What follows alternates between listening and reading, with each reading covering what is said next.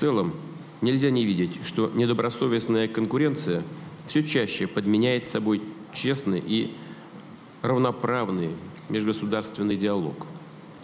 Распространяется порочная практика использования незаконных односторонних санкций, протекционистских мер в обход устава ООН, правил ВТО и других общепризнанных норм права. Все это оказывает крайне негативный эффект на атмосферу сотрудничества на международной арене. Приводят к сворачиванию деловых связей, утрате доверия между участниками экономических отношений, разрывая саму ткань мировой экономики.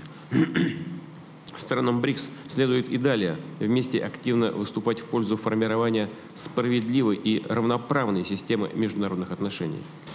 Именно коллективные действия, основанные на взаимном уважении и учете интересов, востребованы для решения острых проблем, стоящих перед мировым сообществом.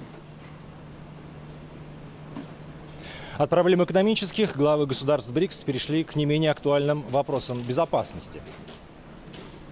В отношении террористических группировок недопустимы двойные стандарты или какие бы то ни было компромиссы, и тем более их авантюрное использование в геополитических целях, поскольку любые заигрывания с террористами играют им на руку, побуждают совершать новые кровавые злодеяния.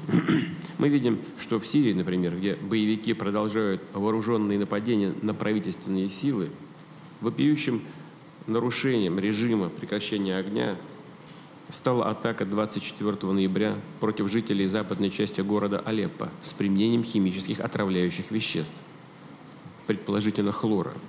Пострадали десятки сирийцев, среди них дети.